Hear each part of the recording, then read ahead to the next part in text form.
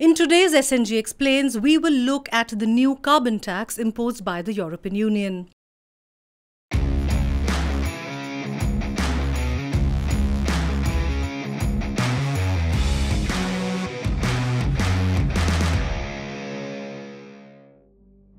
The carbon border adjustment mechanism. Carbon must have its price because nature cannot pay this price anymore. And this carbon border adjustment mechanism should motivate foreign producers and EU importers to reduce their carbon emissions while ensuring that we level the playing field in a WTO compatible way.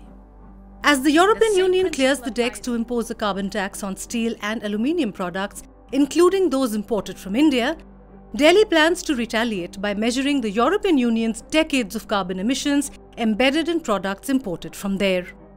Less than four months from now, the European Union will begin implementing a special tax on imports of steel.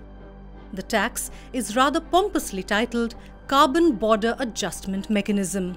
It measures the content of carbon embedded in various products, including steel and aluminium, and taxes accordingly.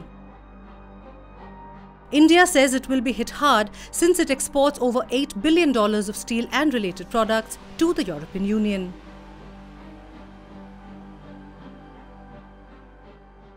It's, it's, it's uh, uh, very uh, uh strange or rather unfair for the, for the EU to come up with this proposal.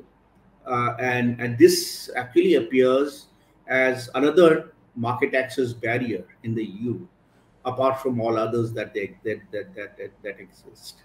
The point is that if you have a, a, a tax which is one size fits all, that you are treating every country as a pollution haven, and they are emitting, you know, very high levels of emission, and that uh, justifies the tax that the EU wants to put at the border.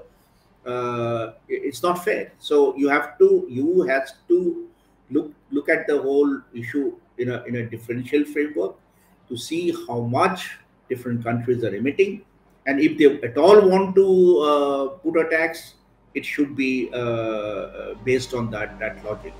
India says the EU tax is not compatible with WTO rules.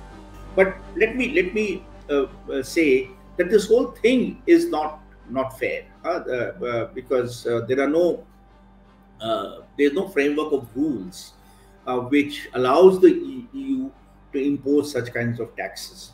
Because you know the framework of rules that we have for for, for trade is really uh, provided by the WTO the, the, the ex extensive set of rules that we have. You know by and large it's the WTO determined uh, uh, you know rules. But in the WTO the issue of the linkage between trade and environment is is still not settled. It's still an unsettled issue. Uh, how it is going to be laying, all these negotiations have to take place, and finally, then you have to come to uh, a, a, conclusion.